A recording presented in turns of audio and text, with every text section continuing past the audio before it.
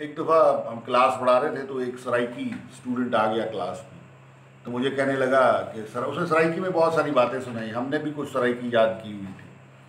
तो उसने बहुत सारे शेर सुनाए तो हमने भी उसे सुनाया। तेरे बाग में एक कवेला सी गीत गा सी उड़ा ना छोड़ी। तेरे बाग में एक कवेला सी गीत गा सी उड़ा ना छोड़ी। तेरे शार में शकारी बाउणन खुदा दनाई मरवा न छोड़ी। इसका मतलब ये है कि तुम्हारे बाग में एक कोयल थी। तेरे बाग में एक कवेला सी गीत गा सी, उड़ा न छोड़ी। तुम्हारे बाग में एक कोयल थी जो गीत गाती थी, उसको उड़ा न देना तेरे बाग में एक कवेला सी गीत गा सी, उड़ा न छोड़ी। तेरे शार विच शकारी बाउणन खुदा दनाए मरवा न छोड़ी। कि तुम्हारे शहर में शिकारी बहुत है, खुदा का नाम है, उसको मरवा न छोड़ इसके अलावा एक और बात थी राती मई खाब डिठा, तेज खारा विच जनाब डिठा।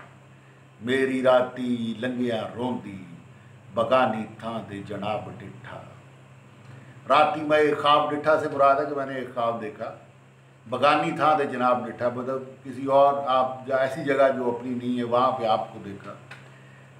राती मैं एक ख्वाब डिठा, तेज खारा विच जनाब डिठा। मेरी राती लंघिया रोंदी बगानी था दे जनाब डिठा जनाब डिठा। तो क्लासेस में ऐसी बातें होती रहती हैं बड़े बड़े टैलेंटेड लोग आते हैं और बड़ा लुत्फ आता है। I really miss my teachings पिछले दो तीन चार साल से मैं लाइव uh, क्लासेस जो है जो इन पर्सन होती है सामने स्टूडेंट बैठे हैं वो नहीं पढ़ा रहा I miss that and uh, it's very beautiful job, beautiful work.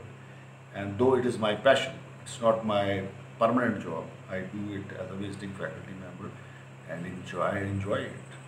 और जब बंदा पढ़ाता है तो जो ब्रेन का प्रोसेसर है वो इतनी स्पीड पे दौड़ता है कि इंसान उसका अंदाज़ा नहीं कर सकता और वो जितने सवाल जो आपको आम रूटीन में समझ नहीं आ रहे, वो पढ़ाते हुए उनके जवाब जो हैं वो मिलते जाते हैं। तो teaching is a very unique job and और पढ़ाना जो है, ये पैशन होना चाहिए, थोड़ा पढ़ाना चाहिए। ज़्यादा पढ़ाएँगे तो उसका लुत्फ चला जाएगा। I like teaching thank you very much